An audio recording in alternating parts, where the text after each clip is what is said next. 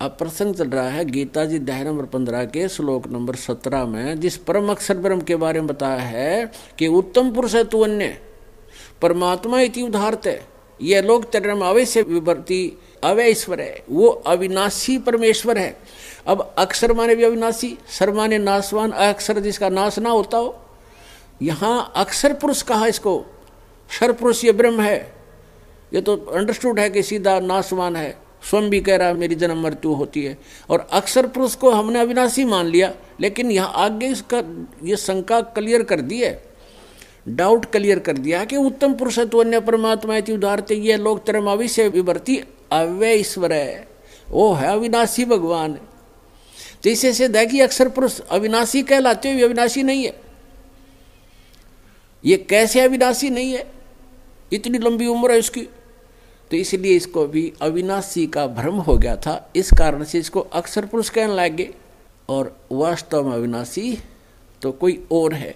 अब आठवें अध्याय के तीसरे श्लोक में अर्जुन का उत्तर देते हुए गीता ज्ञानदाता ये सरपुरुष कह रहा है कि वो तो परम अक्षर ब्रह्म है। जो सातवें अध्याय के उनतीसवें श्लोक में जिस तत्ब्रह्म के विषय में जानकारी दी है कि उस तत्ब्रह्म को जान कर यानी परम अक्षर ब्रह्म को जानकर सारे दातम से परिचित व्यक्ति, सभी कर्मों से परिचित व्यक्ति केवल जरा और मरण से छूटने का ही प्रयत्न करता है। जरा माने बुढ़ापा और मरण माने मृत्यु।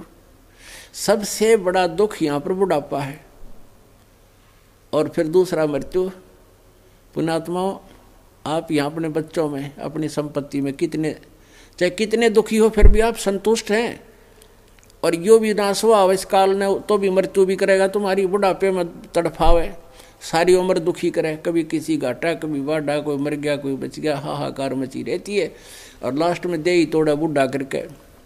ब्रैन मैटी उठा जा ना बैठा जा कभी आँख, है, कभी पिंडी भड़के, कदे दांत निकलवाने, कदे चढ़वाने बुरा हाल, है, और फिर मृत्यु सबसे बुंडा काम करे हमारी गिल मारे, पहले तो सब कुछ कह, तेरा तेरा तेरा हर फिर छोड़ी मेरा। तो इतना बुरा हाल हमारा कर रखा है, हमारी आँखें नहीं खुलने देता। इसने इतना नशा कर दिया हमारे ऊपर, इतना प्रभाव डाल दिया यहाँ की, ऐसी व्यक्ति बना दी, ऐसा घुमा दिया अपने इसने, प्रेशर से कि जीव के बस का नहीं जैसे किसी ने कोई शराब प्या दिया छित दो पैग अच्छे मार दिए नो काटी ना चक्कर बड़ा बड़ा देखे जाए, नो, पता नहीं तू बोल किस तरह है। तो हमारे को इसने इतना नशा कर रखा है कबीर परमेश्वर कहते हैं, कबीर, ये माया अठपटी सबगट आनड़ी, और किस किस ने समझाऊं या कुआ बांग पड़ी। अब इस बांग का नशा उतरेगा, ये एंटीबायोटिक खानते हैं। ये ज्ञान समझने से आप यहीं रहोगे, यही बच्चे होंगे, आपको भी सुख देगा, परमात्मा सुखदाई है। इस विधि से आप भी सुखी रहोगे, आपकी अकाल मृत्यु भी बचेगी, आपके बच्चों की भी बचेगी। और वो परमात्मा मिलेगा जिसकी हमें खोज है, जिसके लिए सभी सदग्रंथ प्रमाण करते हैं कि वो है परम अक्षर ब्रह्म उसकी साधना करने से फिर कभी मृत्यु नहीं होगी। अब गीता जी अध्याय नंबर आठ के श्लोक नंबर तीन में कहा कि वो है वो परम अक्षर ब्रह्म वो तत्ब्रह्म जो है परम अक्षर ब्रह्म है, जिसको जानने के बाद प्राणी केवल जरा और मरण से छूटने का ही प्रयत्न करता है। जरा माने बुढ़ापा है अपन आत्मा जब तक ये प्राणी थोड़ा सा हाथ पैर चल रहे हैं ना इसके, इतने इसका दस्ती को ना बुढ़ा होकर दुखी भी होया करे। हम देखते हैं वृद्ध आदमी लाठी का सारा धीरे धीरे चलते हैं बेचारे, और हम खे देश ही निकल जाते हैं। इस तत्व ज्ञान से जब आप उनके आसपास से गुजरोगे, आपको पता चलेगा कि ये हमारे ऊपर भी आने वाली है। तो उससे हम क्या करेंगे, क्योंकि बुढ़ापे में सुख भगवान दे सके हैं, संतान नहीं दे सकती। चाहे आपकी कितनी अच्छी संतान है, नेक है, आपकी खूब सेवा करे, लेकिन आप जी ने जीवन भर भक्ति करी नहीं।